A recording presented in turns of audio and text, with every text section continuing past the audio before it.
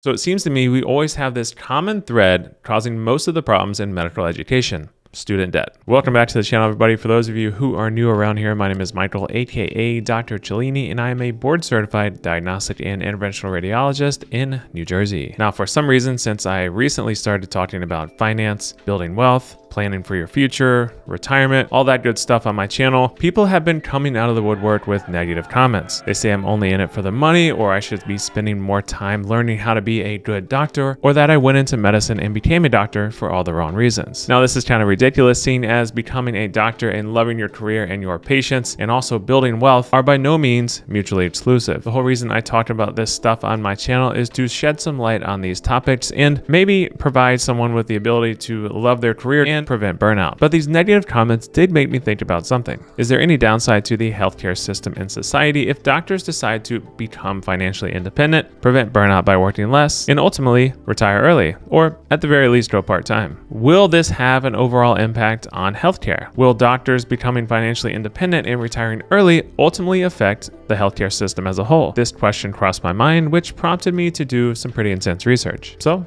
let's get into the video. By now, you may have seen my recent video talking about the US physician shortage, and if you haven't seen it, I'll leave a link up to the video here. And this physician shortage is the reason why the US government is addressing the doctor shortage head on and paying for a thousand new residency spots over the next five years. And of course, the money for these new residency spots will come from Medicare, which provides health insurance for people over 65 years old, but it also covers residency spots as well. And if you want to read more on this topic, I'll leave a link to a very good article on this subject below. So like I mentioned prior, if you have a a physician shortage with the increased demands placed on physicians and other healthcare workers currently, which ultimately leads to burnout? Will more physicians start to retire early and focus on financial independence? And will this further add to the physician shortage? Well, a plastic surgeon by the name of Jordan Frey doesn't think so, and I kind of agree. Oh, and you're probably wondering who the heck is this Dr. Jordan Frey? Well, he's the author of an op ed piece that I recently found while doing research on this topic. And it's actually pretty good and touches on a few good points, and I'll leave a link in the description below. And I will also talk about that article in this video. So, Dr. Frey basically mentions that all the reasons doctors are being discouraged from practicing medicine are all the things that cause physician burnout, such as loss of autonomy, decreased reimbursement, increased administrative responsibility, etc. And the answer to avoid all of these things that cause burnout is to gain financial independence and maybe retire early, or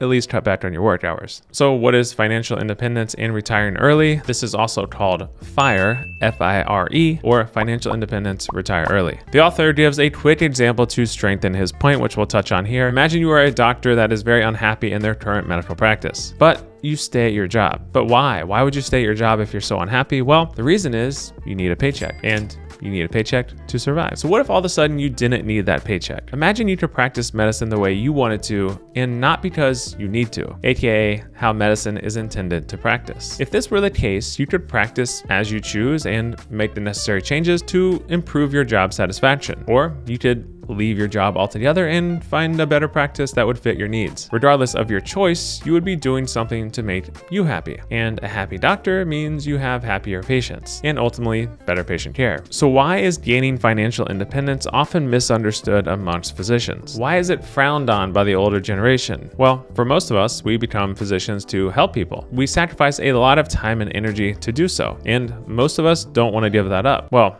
there are some, but most physicians don't want to give that up because we worked really hard to get to this point. However, becoming financially independent is a way for you to practice medicine as you choose and as freely as you choose. This would allow doctors more time and energy to put into systemic changes or helping patients or furthering better research, or even spend time improving access to patient care. This is why the author believes that gaining financial independence is a cure for the physician shortage, not another contributor for it. Furthermore, I know we talked on this subject a lot, but imagine how many young, intelligent people would go into medicine if student debt was not a thing. Imagine you didn't have to worry about student debt and becoming financially independent as a young physician was actually attainable. We would have more doctors practicing medicine the way they want to, and not just because they have to. This would ultimately benefit healthcare in a very big way. And trust me, I get a ton of messages from students in high school and also students in college who are actually very concerned about student debt and taking on such a large financial burden just to go into medicine. I think it's actually a way bigger deal than we probably think. It seems kind of counterintuitive. Like, wouldn't you want to provide any means necessary for bright minds for our future to practice medicine? It seems so backwards.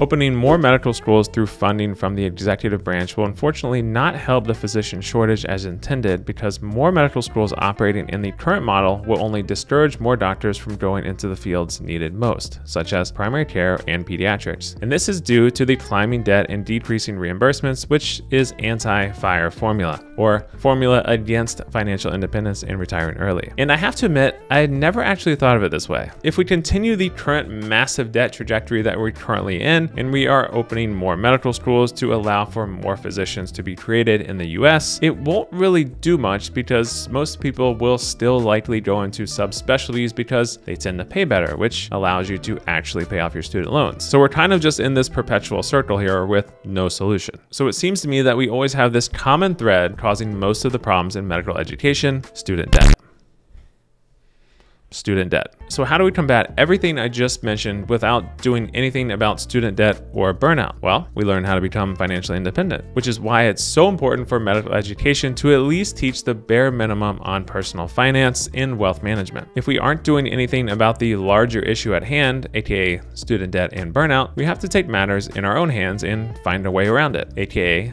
becoming financially independent. And this is the exact reason why I talked so much about these topics on my channel and why I've essentially transitioned my channel into mostly talking about these subjects. Maybe at least one person will pick up on what I'm putting down and maybe they'll learn something and it may help them out on their financial journey going forward. So how ultimately do we even start this journey of becoming financially independent or even learning about financial independence or financial education? Well, you do the same thing you did to learn medicine. You learn it on your own. You sit down and you just do it yourself. Educate yourself, watch YouTube videos, become interested, read books, become a member of forums, and surround yourself with people who think the same as you. Do the exact same thing you did in order to learn medicine, but only for finance. The funny thing is that FIRE, or financial independence in retiring early, is actually pretty simple. Save, don't spend beyond your means, and invest wisely. Eventually, you will be able to practice medicine on your own terms terms and retire as you see fit. You will not only improve your financial status, but also your own health, and ultimately bringing more joy to you